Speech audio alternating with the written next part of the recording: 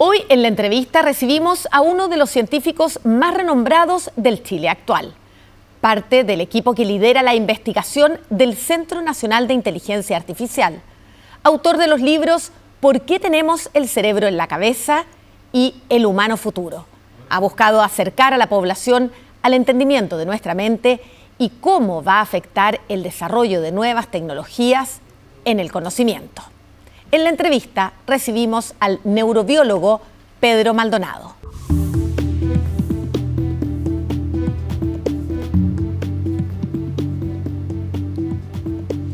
Pedro, muchas gracias por estar con nosotros y bienvenido a la entrevista. Muchísimas gracias, Macarena, por invitarme. Bueno, vamos a hablar de inteligencia artificial, de tu nuevo libro, El humano futuro, y cómo es el futuro de los humanos, porque hay un juego de palabras bien interesante ahí en el título del libro. Pero para hablar de inteligencia artificial creo que es muy importante que hablemos primero de la inteligencia humana y de esta maravillosa máquina que es el cerebro, el cerebro humano. Y algo tú nos cuentas en el libro que me llamó mucho la atención y tú asocias el momento en que el desarrollo del cerebro humano se dispara respecto al resto de las especies con el momento en que el ser humano aprende a cocinar. ¿Por qué? Y esto le va a encantar a todos nuestros espectadores que son más gourmet. ¿Por qué la cocina fue tan importante para hacer que fuéramos inteligentes?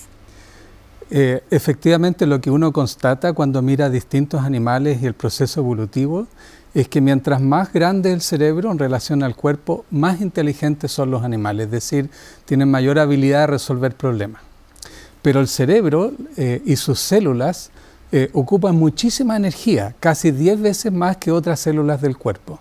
Y por lo tanto, tener cerebro es caro. Y para eso entonces uno requiere consumir suficientes calorías.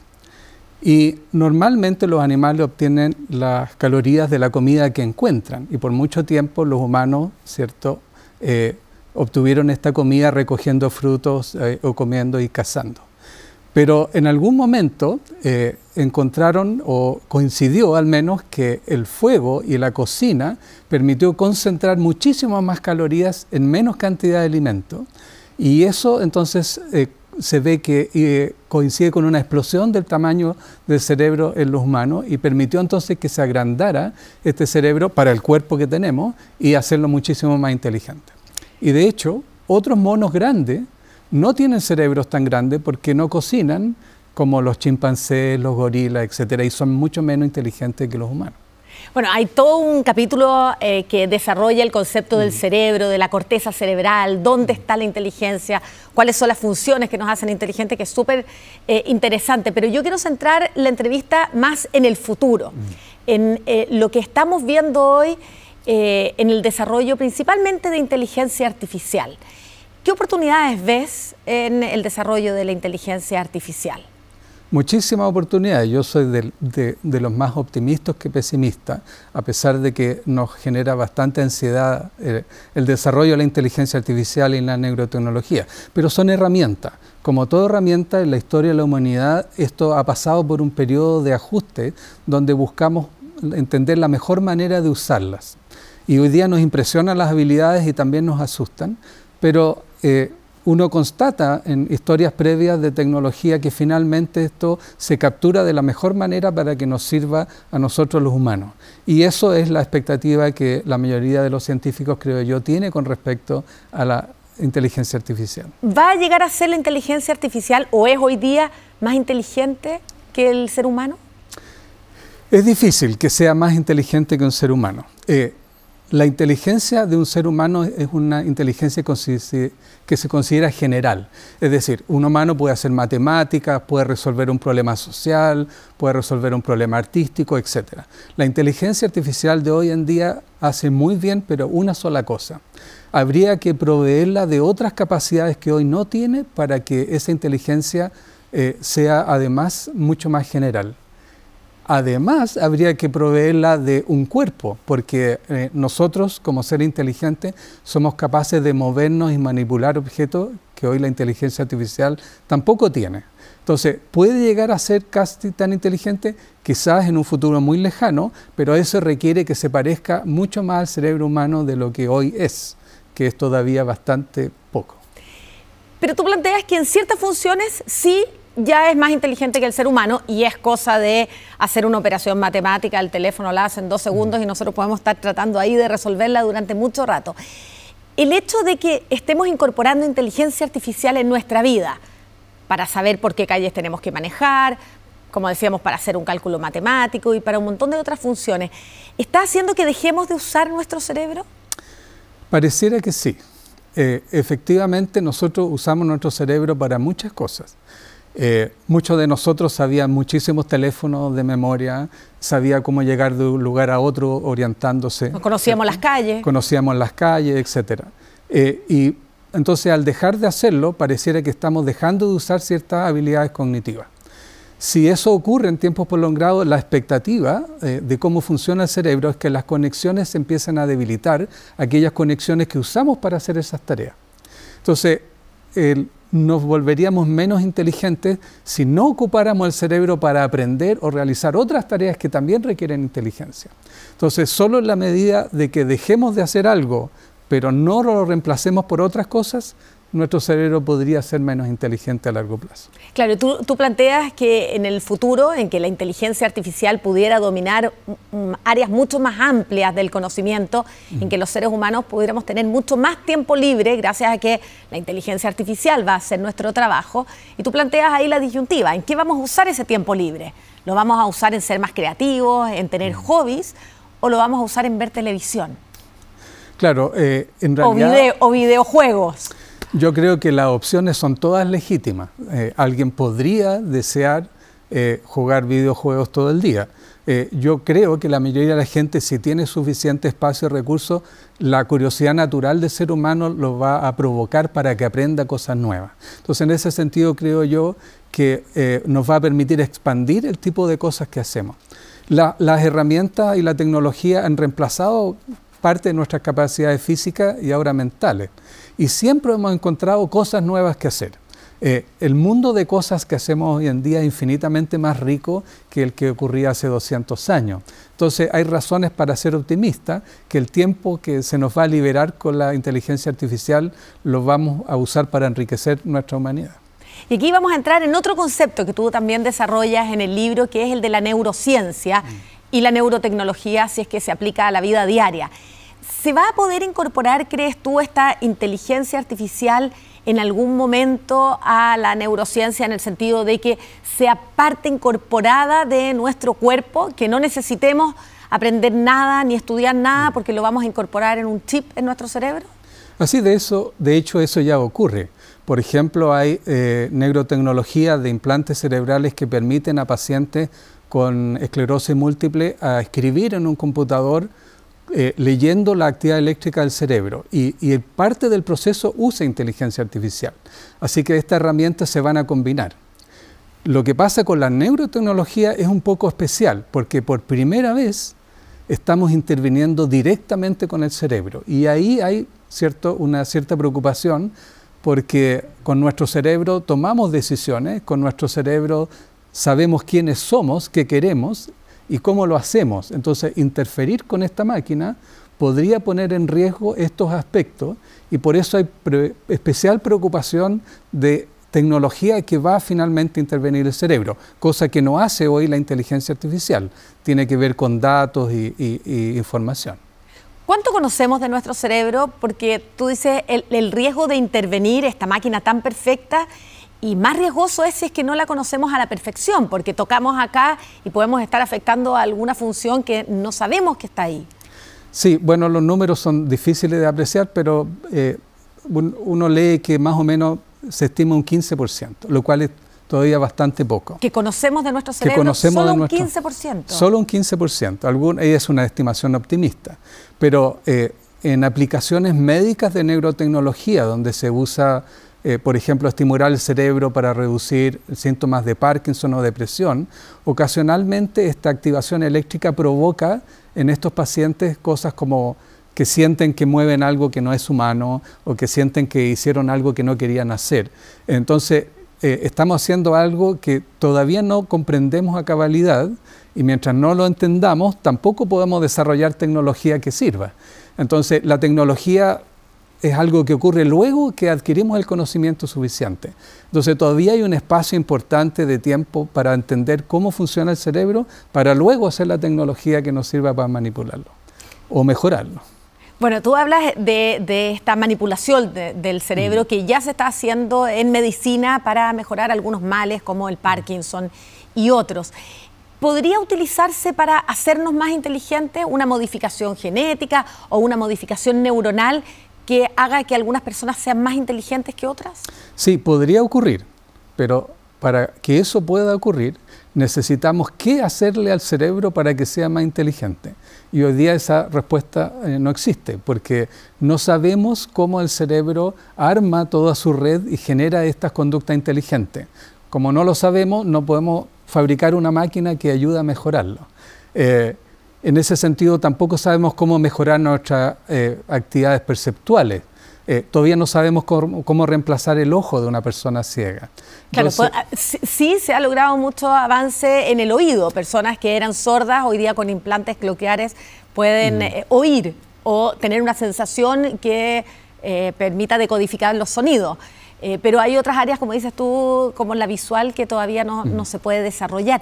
Y, y, si eso se lograra en algún momento, eh, ver cómo hacer más inteligente a una persona que otra, tú planteas acá eh, un dilema ético que me pareció fascinante, y es que esto va a ser caro.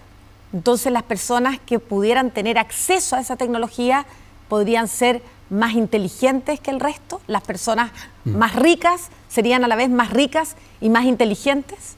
Claro, ese es un eh, riesgo que ocurre generalmente cuando empezaron a aparecer los teléfonos celulares. Los primeros que pudieron beneficiarse de eso son la gente que podía costearse el aparato. Y luego se hizo masivo. Eh, si esto ocurre ahora con la neurotecnología, esta persona más inteligente, ojalá desearan compartir esta tecnología con el resto de las personas, sino va a crear una, una diferencia, una inequidad que no sabemos qué consecuencias va a tener. Por eso que es importante cuando uno lee las recomendaciones éticas sobre neurotecnología, hay un énfasis importante que esto sea transversal, que haya acceso equitativo a esta tecnología. Si no, podríamos entrar en problemas como tú dices. Claro, y si no, podríamos recrear el mundo feliz de Aldous Huxley, que tú eh, mm. lo nombras en, en el libro y muchos de nosotros lo leímos en el colegio, nos hacemos la idea de que el mundo pudiera transformarse en esto, en una casta de personas que tienen el poder porque tienen el poder económico, son más inteligentes gracias a esa manipulación genética, mm. son más bonitos incluso que el resto del mundo y de esa manera hay un mundo de castas. Mm. ¿Se abre esa, e, e, e, ese abanico de peligros también? Sí, se abre, pero, pero hay una ventana de optimismo al respecto. Es que la biología también constata que hay dos fuerzas eh, biológicas importantes de la comunidad, el egoísmo y el altruismo. Y vivimos en una sociedad donde el altruismo siempre parece ser más importante que el egoísmo. Es decir, las personas están dispuestas a ser parte de una sociedad en la medida que reciben ciertos beneficios. Pero cuando esta inequidad crece demasiado, eh, las personas están dispuestas a perderlo todo porque encuentran que la inequidad es demasiado. Entonces, e, este equilibrio es bastante interesante porque muestra que en la medida que las sociedades tienen equidades relativamente pequeñas, son más felices, pero no importa cuánto tengan, pero si la inequidad es grande, se revelan. Entonces, quizá esa situación vaya acompañada eventualmente. Es una, es una mirada optimista, nos quedamos con esa mirada. Eh, Pedro, ¿va a llegar el momento en que las máquinas y los humanos se fusionen? Tú ya nos estás dando mm. algunos ejemplos en qué tecnología es implantada en el cerebro o en otras partes del cuerpo. ¿Podría llegar un momento en que cueste distinguir quién es máquina y quién es humano? En, principio, varios temas de ciencia ficción han tocado el tema y uno, si tiene suficiente conocimiento, podría emularlo. Pero esto va a ser progresivo, es decir, probablemente nos vamos a acoplar de a poco eh, a, a tecnología como como conectarnos directamente con el teléfono celular, que es uno de los objetivos de la compañía de Elon Musk, Neuralink. No andar con el teléfono, sino que incorporarlo dentro de, la mano, del cuerpo. De... Claro, que no necesitemos leer algo, sino que vaya directamente a nuestro cerebro, eh, cosa que de nuevo requiere saber cómo hablarle al cerebro lo que está en un computador, ahora lo leemos. yo creo que va a ser algo progresivo y nos vamos a ir combinando con eh, neurotecnología y máquinas, de a poco. Eh, ¿Qué es lo que va a venir primero? Probablemente eh, un aumento en nuestras habilidades perceptuales. Quizá uno quisiera ver infrarrojo o, rayos X o lo que sea, ¿cierto? O escuchar como el hombre biónico. Digamos, yo creo que ese tipo de tecnología es quizá una de las que aparezca primero. reforzar nuestra fuerza física también, etc. A propósito de ciencia ficción y de quienes han imaginado el futuro, ¿viste la serie Years and Years? No, no la he visto, Es una serie extraordinaria que se plantea en un futuro no tan lejano, mm. en 100 o 50 años más. Eh, y hay una adolescente que le comunica a sus papás que va a transitar, que quiere ser transhumano mm. y que se, hace, se, transforma en un humano conectado a las máquinas. y, se abre eh, mm. esa pregunta, ¿qué es lo que nos hará humanos? ¿En qué momento dejaremos de ser humanos? Humanos para transformarnos en máquinas? ¿O qué es lo que nunca van a poder hacer las máquinas antes de transformarse en humanos? Es una pregunta muy interesante porque eh, uno puede hacerla de la siguiente manera. ¿Qué puedo perder yo y seguir siendo humano? Puedo perder un brazo, sigo siendo humano, las dos piernas, me pueden hacer un trasplante de corazón, etc. Y las personas siguen reconociéndome como yo, ¿cierto? Pero si hay un daño en el cerebro, esto cambia. Entonces, pareciera que para seguir siendo humano, lo que hay que conversar, eh, mantener, ¿cierto?, es la actividad del cerebro de alguna manera. No es lo único que importa, pero es lo que más importa. Eh, en particular, cuando eh, uno examina qué es lo que hace el cerebro, la toma de decisiones libre y el hecho de que uno sienta que lo que hace es su responsabilidad, que se llama el sentido de agencia, parece ser hacer dos aspectos que son intrínsecamente humanos. Y, hay un ejemplo muy interesante que, yo uso mucho. Supongamos que tengamos una máquina de inteligencia artificial que toma las mejores decisiones, es una máquina perfecta. ¿sí? Entonces, te sugiere dónde vivir, qué hacer, con quién casarte, dónde estudiar, eh, dónde ir a comprar algo, porque es la mejor decisión posible. ¿Tú le entregarías a esa máquina todas tus decisiones? Está difícil la pregunta. no todas, pero quizá algunas uno podría decir, a ver, si, si, la máquina decide mejor que yo, vamos a ponerla a evaluar. Claro, cuando uno le hace esta pregunta, la mayoría de las personas se incomoda, dice, no, yo quiero... Quiero elegir aunque me equivoque. Exactamente, ¿cierto? Eh, esto de equivocarse, eh, yo creo que eh, apunta a algo como humano, que uno es dueño de su propio quehacer y futuro. El, libre albedrío. si perdemos eso, perdemos lo que es intrínsecamente humano. Y el estudio de la inteligencia artificial y la neurotecnología y los experimentos deberían ser libres o debería haber una regulación? Tú planteas eh, mm. todo un capítulo respecto a los neuroderechos, sé que has estado trabajando además con científicos internacionales respecto a si hay que legislar eh, ahora que estamos partiendo eh, las investigaciones y los mm. experimentos con algo tan delicado como es el cerebro humano. Sí, yo creo que la discusión ética debe empezar lo antes posible porque ocurre muchas veces que la tecnología nos pilla sin ninguna normativa. Ocurrió con la inteligencia artificial. Eh, está con nosotros hace mucho tiempo, pero todavía hay normativa que no existe. ¿Qué riesgos ves si es que no se legisla? Los riesgos de que haya actividad eh, sin entender eh, o aceptar las consecuencias, el riesgo de generar mayor diferencias, el riesgo de dejar fuera comunidades más vulnerables. Hay, hay muchos riesgos, el riesgo de en educación de, echar a perder el proceso educativo porque no sabemos eh, qué es lo que está pasando. Eh, y en ese sentido, la discusión requiere de que todos los actores conversen y traigan sus diferentes puntos de vista. Los científicos traeremos conocimiento, los educadores traerán su experiencia, eh, pero el desarrollo de la tecnología tiene que cuidar y velar por el derecho de las personas. Y, y de hecho, esto de estar centrado en el ser humano y en los derechos humanos es lo fundamental que está detrás de todas las consideraciones éticas sobre eh, neurotecnología e inteligencia artificial. ¿Hay un riesgo de perder eh, nuestra privacidad mental? Eh, eso es algo que se menciona bastante porque se piensa que la neurotecnología podría leer nuestros pensamientos, ¿cierto?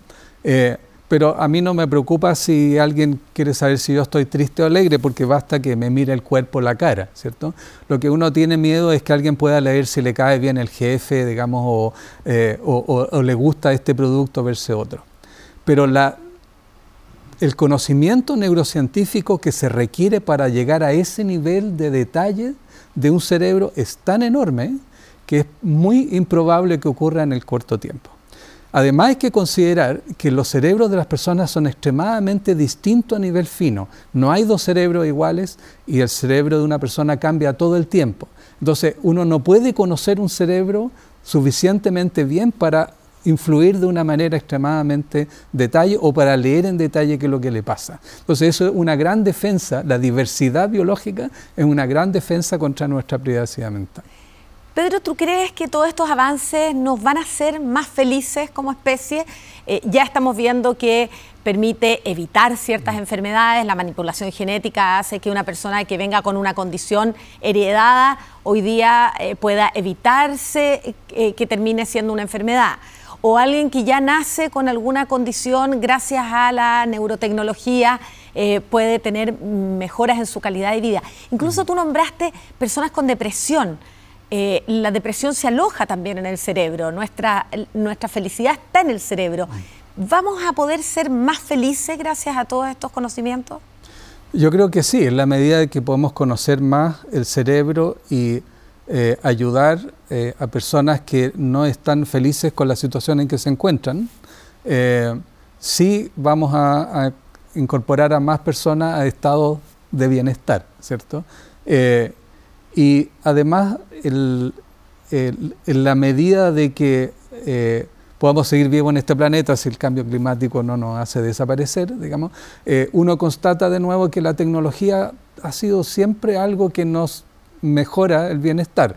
Eh, los rayos X, por ejemplo, al principio eran terribles, producían un montón, muchas personas murieron de cáncer, pero hoy día se ocupan en medicina de una manera súper espectacular. Rafael Juste menciona la bomba atómica como otro ejemplo de bienestar, digamos, algo que en principio asusta, pero luego utilizado. Eh, entonces, toda esta tecnología, a pesar de que nos crean cierta incertidumbre y ansiedad, hay buenas razones para esperar que efectivamente van a ser finalmente ocupadas para mejorar nuestro bienestar. Bueno, tú dices, eh, cuando aparecieron los libros fueron vistos como una amenaza, cuando aparece el cine, la mm. televisión, internet, ¿para qué decir? Estamos en toda una conversación mm. entre todos los que tenemos hijos preadolescentes y adolescentes respecto a los males que puede eh, generar. Y respecto a la inteligencia artificial también hay una mirada amenazante. Mm. Sí, y yo creo que particularmente el grupo más vulnerable es los niños y jóvenes, porque ellos son los que se van a enfrentar a un futuro que desconocemos eh, y en el cual tampoco sabemos qué competencias tenemos que transmitirles para que sean apropiadamente funcionales en el futuro. Y esto debe incluir inteligencia artificial y debe, pero como no sabemos mucho hoy, eh, hay problemas en diseñar buenas estrategias educativas. Lo que sí está claro es que cualquier tecnología en exceso va en contra de la adquisición de habilidades cognitivas generales. Una pantalla ante los dos años, por ejemplo, es muy nociva para los bebés. Antes de los dos años. Antes de los dos años, una recomendación de la Sociedad de Pediatría Norteamericana, porque durante los primeros dos años eh, lo que los humanos aprendemos es a movernos, a ver, a, aprender a escuchar, y ese proceso no puede ser reemplazado por estar mirando una pantalla. Eh, luego en la adolescencia, el uso de un teléfono móvil seis horas al día, eh, impide que la persona adquieran otras competencias, competencias sociales, etc. Y por lo tanto, como herramienta hay que definir cómo, cuándo y en qué momento y en qué duración usarlo. Ahora no hay muchas recomendaciones y estamos pegados a este teléfono. Entonces, eh, el diseño de estrategia educativa es, clave y es algo que también deberíamos ponerle tanto énfasis como al aspecto ético. Ya, y por último, eh, ya hablamos de la primera etapa de la mm. vida y cómo el no usar el cerebro o usarlo mal o no usarlo para ciertas habilidades hace que esas habilidades se pierdan. Y en el desarrollo de nuestra vida adulta y de adultos mayores, ¿puede pasar lo mismo? ¿Qué habilidades se pueden entrenar para mantener un cerebro joven o activo? Sí, una, las razones por las cuales podemos aprender es porque nuestro cerebro cambia físicamente todo el tiempo y lo que cambia son las conexiones entre las neuronas. Lamentablemente, la habilidad de cambiar conexiones va haciéndose más débil con la edad y por lo tanto a las personas mayor de edad nos cuesta aprender algo más. Y eso es un desafío porque en la medida que hay nueva tecnología, eh, nos cuesta más aprender que alguien joven, ¿cierto? Eh, hay varias cosas que se han establecido relativamente robustas como maneras de eh, ayudar a mantener nuestra integridad mental. El dormir bien, el ejercicio, ¿cierto? Que, genera cambios importantes. Eh, y el usarlo, eh, usar conectivamente el cerebro para cualquier problema que alguien le atraiga, digamos, desde, desde leer, hacer puzzle, hacer una tarea nueva, aprender un idioma. El desafiar al cerebro mentalmente es una de las cosas que más ayuda a mantenerlo eh, sano. Y de hecho se ha demostrado que muchas enfermedades se tienden a retardar si es que uno mantiene activo el cerebro, neurodegenerativa, ¿cierto? Y leer, y leer un libro tan interesante como El humano futuro de Pedro Maldonado. Pedro, muchas gracias por haber estado en la entrevista. Muchísimas gracias, Macarena. Fue muy entretenida la conversación. Lo mismo digo, un placer.